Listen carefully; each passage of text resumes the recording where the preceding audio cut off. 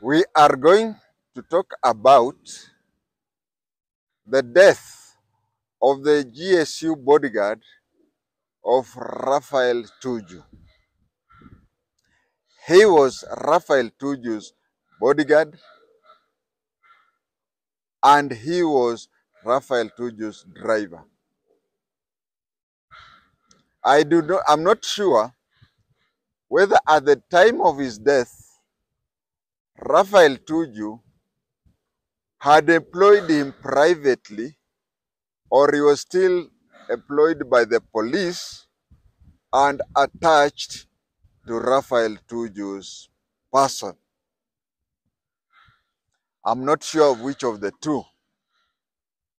But initially, he started off as Raphael Tuju's driver stroke bodyguard while he was a GSU officer. And as I've said, I'm not sure whether at the time of his death, we have so many cases where you find that uh, somebody agrees with the employer to be employed privately. I will not go into reasons, but one of the major reasons is that uh, there are times when the police service wants to transfer this person elsewhere, and that person and the VIP feel that they should continue working together. So the VIP says that how much were you being paid? And then they agree. And then the, the bodyguard now goes to the firearms bureau to seek for a private firearm. But then I don't know whether this uh, person was still employed by the police service or not. But at the time of his death, he was both the driver and bodyguard. As I, as I keep saying, whether he was a private bodyguard or a GSU bodyguard I, and a stroke driver, I do not know. But let me say this.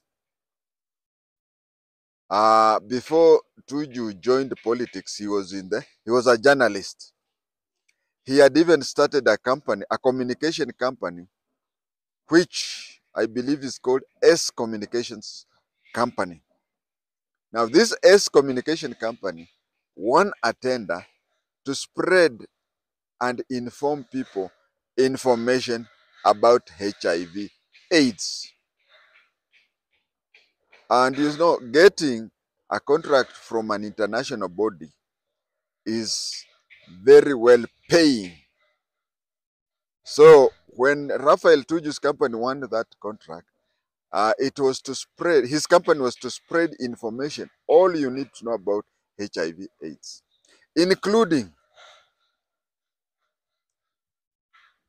knowing whether you have HIV AIDS or not, and when you have, is it you as an individual who has, or you are a couple that is called discordant. Discordant couple is a couple where one of the partners has HIV and the other does not have. So they spread in they spread information on how to prevent you contracting HIV AIDS and when you contract, how to live positively. They also included information on how to go about living when one of the couple is HIV positive and the other one is negative. And so to show by examples what they were preaching, employees, including the owner of the company, had to undergo HIV tests. So Raphael Tuju and his wife, Akinyi, I'm not sure whether she's Akinyi, but even if she's not Akinyi, let us call her Akinyi. They went for HIV for for HIV tests. When they went for HIV tests, Raphael Tuju was found to be HIV positive. Akinyi, his wife, was found to be HIV negative. So they had to live that life. They had to live a life of how to live while uh, a married couple that was HIV uh, discordant. when they lived that life, there is something that uh, this is. Uh, I'm trying to control myself not to talk things that um, that I'm not supposed to talk. But anyway, let me talk. Uh, there is this saying that uh, kutafuna switi ikiwa kwa pakiti.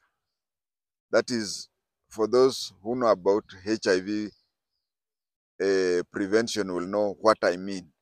Kutafuna switi bila ikiwa na kutafuna peremende ikiwa na pakiti, hautoi pakiti. So it was uh, they, they, they, they had to undergo a regime that was strict. Uh, that is to prevent HIV moving from Tuju to Akinyi. And that one included what I've just said. Kutafuna switi bila kutumia eh, kutafuna switi bila kutumia bila kutoa eh, pakiti. And Akinyi on her own decision felt that there was need to have real hmm, real life eh? real life ed- eh, eh, experience. By real life experience, I want to say this.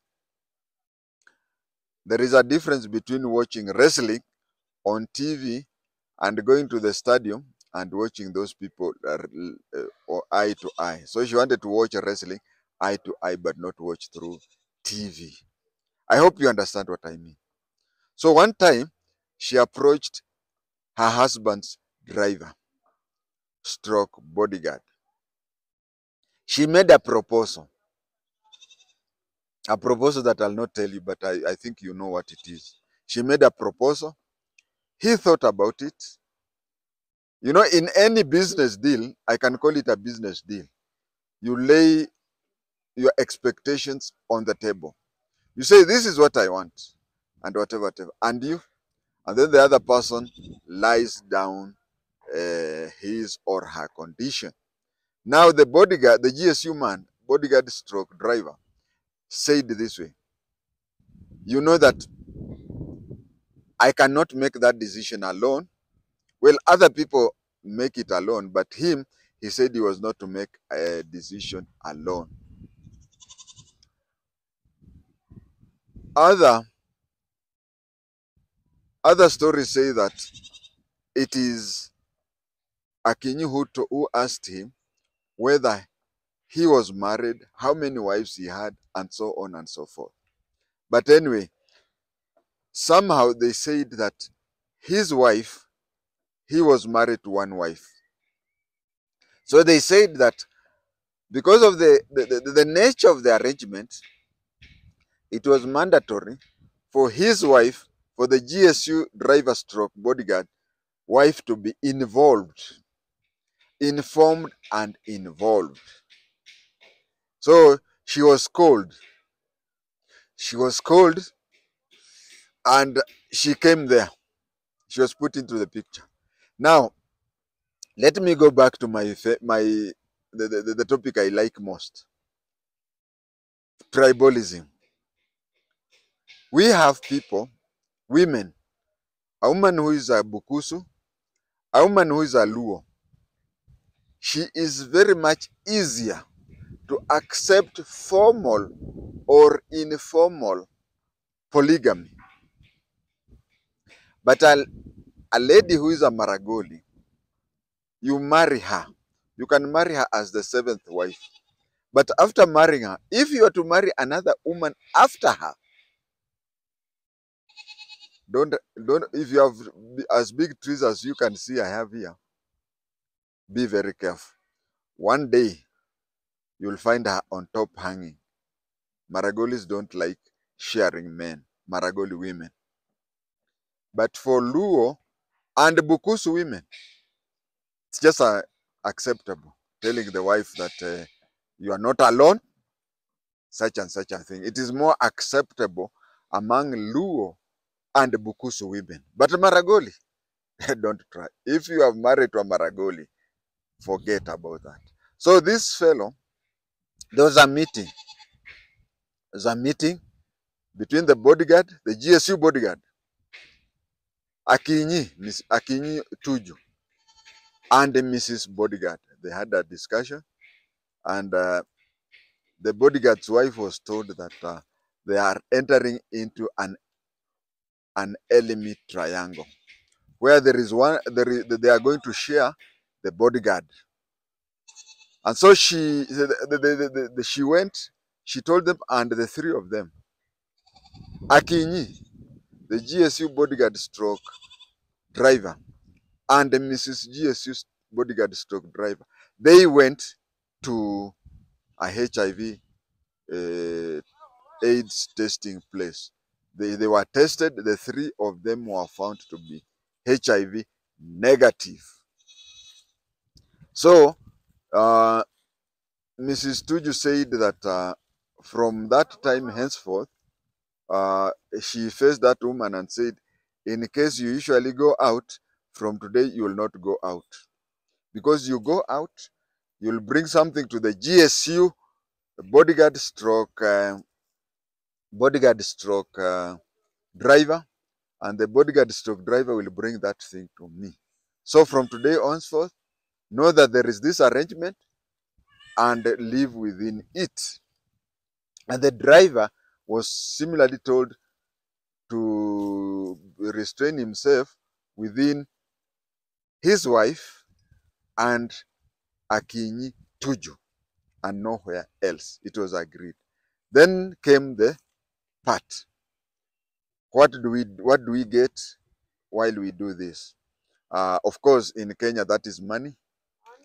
Mrs. GSU driver stroke, uh, Mrs. GSU driver stroke uh, bodyguard remembered about her 13th cousin who has who has uh, school fees issues. So everything, whatever she laid on the table, were fulfilled. They and they now they, they started living a life that was beyond their means because they were now getting money from the Tujus. Now, if you want to know about Tujus, look at it this way: Tuju has a house, which I think he now has a problem, but the house is in Karen area and it is estimated to be worth two two billion shillings. And then uh, they have also another uh, plot in Upper Hill. Upper Hill is considered to be the most expensive land in Kenya. The, the, the plot that they have is uh, on Upper hillside, or can I call it Lower Hill? Lower hillside facing Nyayo Stadium. There is a rail here, and uh, on on one side, on one side there is Nyayo Stadium, and on the other side is Upper Hill houses, a plot of which are a number of flats which are owned by the Tujus. So these are rich people. So it's saying that uh, they, they, they, need to have uh, whatever whatever amount of money. Uh, they, they they need to have a, whatever whatever kind of money so as to have a certain lifestyle. Everything is money. Yeah. So they agreed. They continue living that way, whereby when Akinyi wanted to watch WWE wrestling on TV, he she would watch from her house. But when she wanted to watch it live, live in a stadium arena, she would make arrangements with the bodyguard stroke watchman to go wherever they went. Of course, it was so open that I would not be shocked if Akinyi is the one who would tell Mrs. GSU bodyguard stroke driver that today we are going with him to he'll be away for two days and I'll be with him. So uh, the, the arrangements was that way and the arrangement was working on well. But let me tell you, something that is not well doesn't end well. Uh, they continued that way. The only person who did not know what was happening was Raphael Tuju. Raphael Tuju didn't know of the arrangements. So what happened was, it reached a time, it reached a time when the driver stroke bodyguard, GSU man, called Akinyi aside. And she said, there is a girl who is heavy. She's pregnant and I am responsible. Now, if she carries on the pregnancy to the end, I'll be forced to marry her. I'll be forced to marry her, and uh, I don't want that. And uh, and it, it even complicates our own mathematics, our formula here, our body mass here. Yeah, this is when it the, the, the word body mass work the, the, the calculation of body mass works. Eh? Body, then mass. Eh? Uh, so it is a bit difficult for what will happen. So he said, What? Uh, let us do this thing. Eh? Let us talk to the girl. Let us talk to her. She procures uh, abortion. And you know, in Kenya, abortion is, is, is what? Abortion is illegal. So the doctor performing the abortion has to be overpaid. The girl has also to come up. She agrees to, to abort and she has to be compensated well so as not to carry on the abortion for some time. So the first girl akakuja, she was paid handsomely, she went. Second girl, she went. Third girl, she went. I don't know how many there were. But then it reached a place when Akinyi said, Look here. She, okay, to them, to her, the money she was paying these girls to abort, the money she was, whatever favors she was doing, was nini, change tu pesa kidogo kwake. Eh? But what she came to realize, how are these girls getting pregnant? It means that the bodyguard, the GSU bodyguard stroke driver, was entering in unprotected affairs with these girls. Now, for three girls to be pregnant, it means that she only knew about it when the girls became pregnant. If they would not have become pregnant, she would not have known. And when we use body mass, eh? body mass tunasema nini? Brackets of eh? the division, addition, multiply. Eh? That is what used to happen. Eh? I forgotten about body mass. Now, but this is body, body, body mass. Eh? And I, eh, she started reasoning. Now, if this fellow has impregnated the three girls, it, you cannot impregnate the girls. First of all, he had been under instructions to keep himself within his wife and Akinyi. And here he was having other ladies out there. And you see, for three pregnant, for every one pregnant lady, how many ladies has he been having unsafe, uh, unsafe uh, interaction with them without observing? And and and and and they, re- re- he had been told. He was not even told to have uh, what do you call safe uh, sex with them. No, he had been instructed by Akinyi to keep off all female apart from his wife and Akinyi. Now, for a lady to be pregnant, it means there are several more who are not pregnant. And it and for a lady to be pregnant, it means that she they were observing unsafe sex. And he was not even supposed to even observe what we call a safe sex. No, he was supposed to restrain from any lady apart from the two, his wife and Akinyi.